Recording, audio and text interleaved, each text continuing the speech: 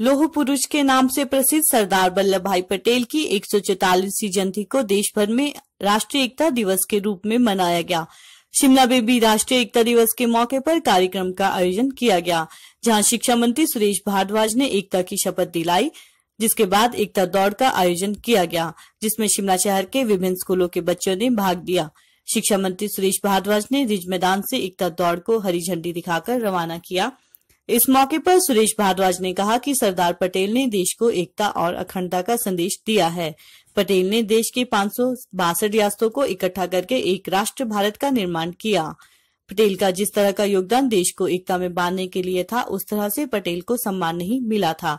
लेकिन आने वाली पीढ़ी को उनके योगदान को समझ सके, उसके लिए इस तरह के कार्यक्रम ज़रूरी है।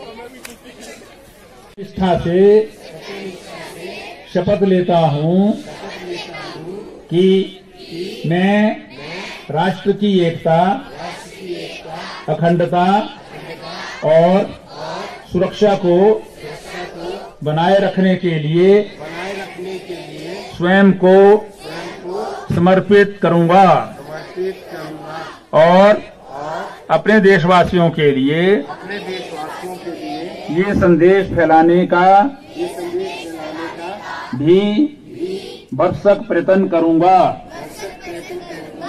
मैं ये शपथ अपने देश की एकता की भावना से खेल की दूरदर्शिता एवं कार्यों द्वारा बनाया जा सका। ये देखिए, हम पाठ्यक्रमों में जो है वो समय समय पर परिवर्तन करते रहते हैं।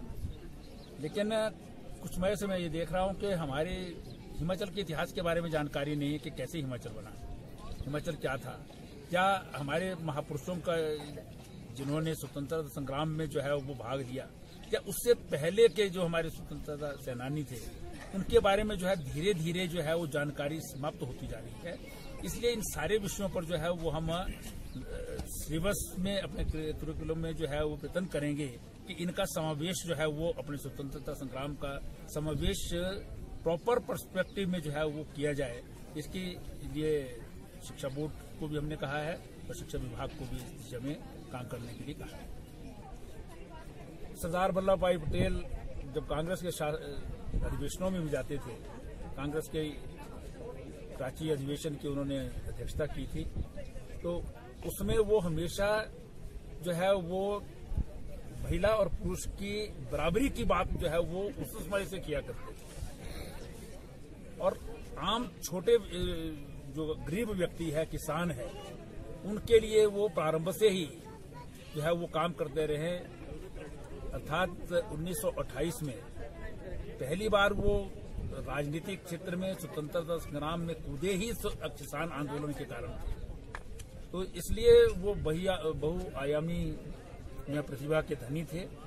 आज जो हिंदुस्तान का जो एक प्रशासनिक ढांचा भी बना हुआ है, वो भी सरदार वल्लभ भाई पटेल का जो है, जो दो ढाई साल के कार्यकाल में उन्होंने तैयार किया है, उसी का परिणाम है कि आज कुछ भी परिवर्तन हिंदुस्तान में हो जाए, लेकिन ये प्रशासनिक ढांचा जो है, वो बदस्तूर काम करता रहता है।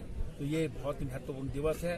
आदरणीय प्रधानमंत्री नरेंद्र मोदी जी ने इसी बात को ध्यान में रखते हुए गुजरात में जो स्टैच्यू ऑफ़ यूनिटी भी बनाया है, जो एक सौ बयासी फीट ऊँची जो है प्रतिमा है, दुनिया की सबसे ऊँची प्रतिमा है।